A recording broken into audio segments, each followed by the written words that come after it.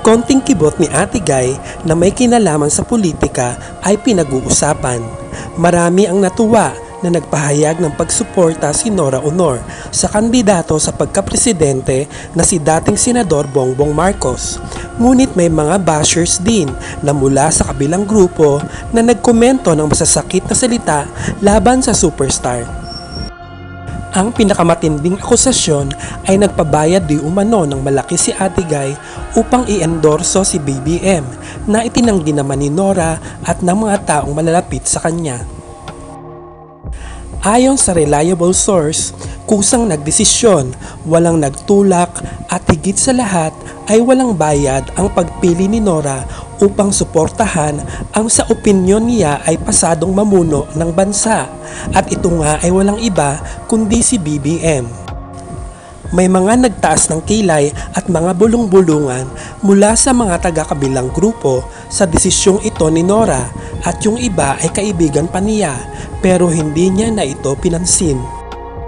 Ayon sa kanya, mas maganda kung magrespetuhan na lamang ng kanya-kanyang opinyon sa kung sino ang nais iboto para sa darating na halalan. Sa YouTube channel ni Ate Guy ay ipinahayag niya na wala namang ginawang masama sa kanya ang mga Marcoses, bagkus ay pinahalagahan nila ang kanyang sining. Kabilang na ang pagpoproduce para sa kanya ng himala at pagpapatayo ng rebulto sa sand dune sa Ilocos bilang pagpupugay sa karakter na ginampanan niya bilang Elsa sa nasabing pelikula. Binanggit din ang pagiging fan ni Doña Josefa sa kanya noong 70s na ipinasusundo pa siya sa helicopter upang siya ay makita nito.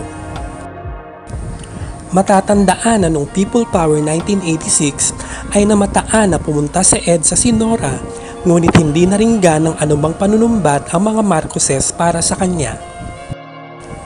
Dagdag pa ni Nora, damang-dama niya ang kabaitan sa kanya ng mga Marcoses at tinatanaw niyang malaking utang na loob ito.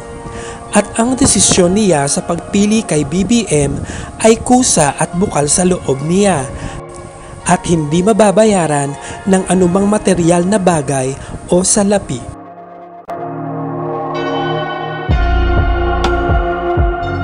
Maraming salamat sa panonood at hanggang sa muli.